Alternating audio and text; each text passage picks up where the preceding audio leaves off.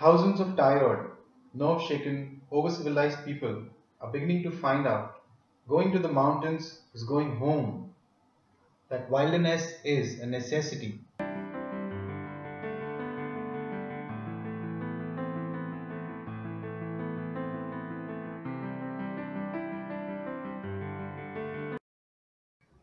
The D-Day has arrived. Team is preparing to leave to the Stok Pace village. Last minute check is done. We have all taken Diamox and bronchodilators. Dorji is our guide. He successfully done more than 20 expeditions to Stok Peak.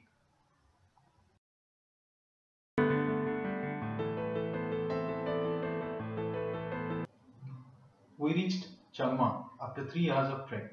Since the team was still energetic and there was time before it could get dark, we decided to trek further and stop at Mankorma. That would help us save a day.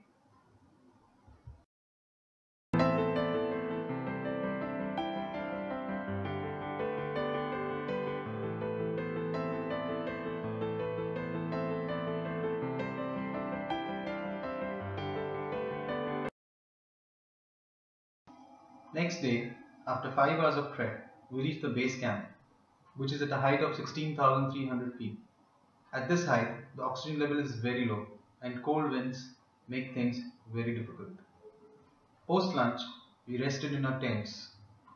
We could experience shortness of breath and walking even short distance was a challenge.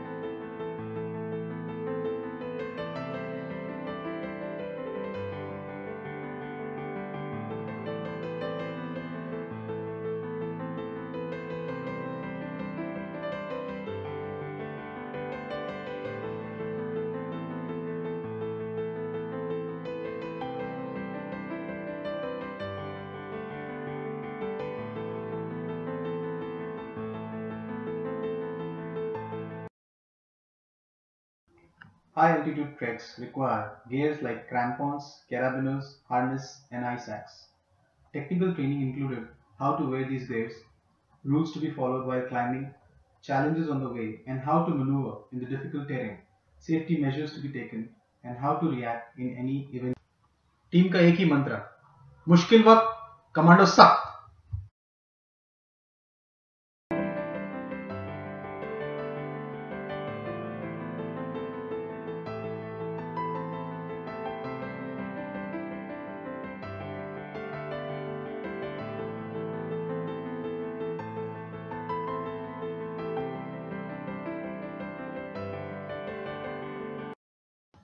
We did a short trek by covering the steep hill at a 75 degree incline, which can be seen in the background. This acclimatization exercise would be critical for the final attempt to the peak. It is a bright day and everyone was excited.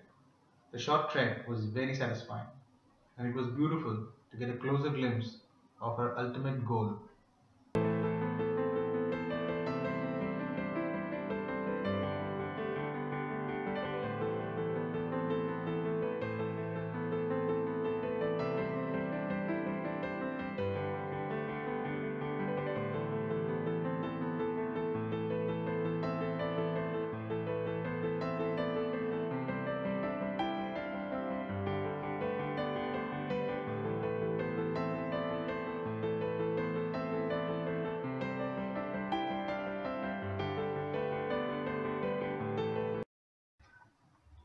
we experienced one of the most beautiful sunrise of our lives.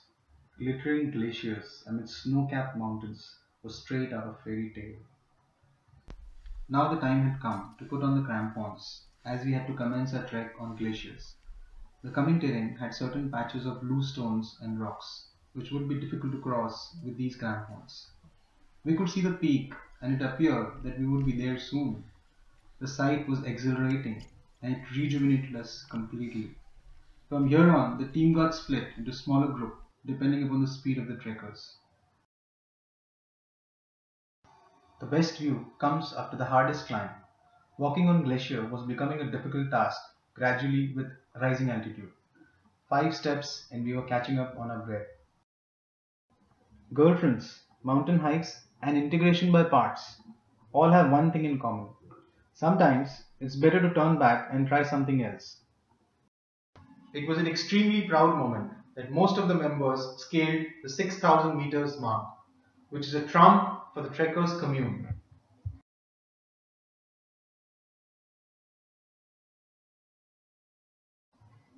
It is almost impossible not to derive strength from the overwhelming beauty of Himalayas. Four members continued and reached the shoulder at around 10 am. For them, the real challenge had just begun.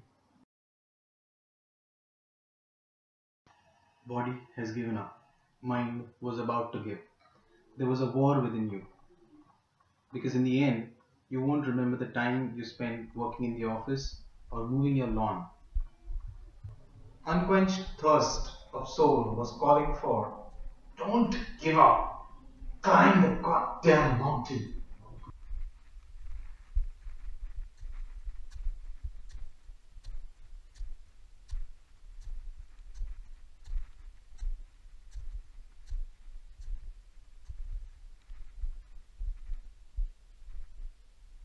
completed the Stok Kangri summit. This is the view of Kangri.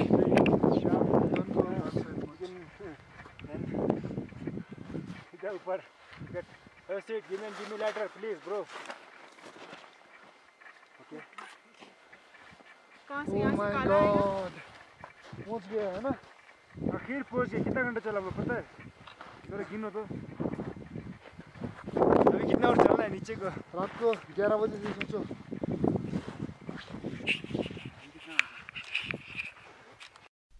With determination and perseverance, they reached the peak at around 2 pm.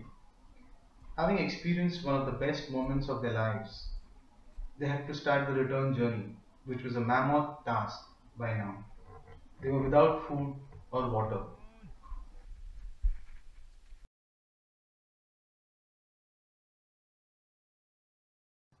Twenty years from now, you'll be more disappointed by the things that you didn't do than the ones you did.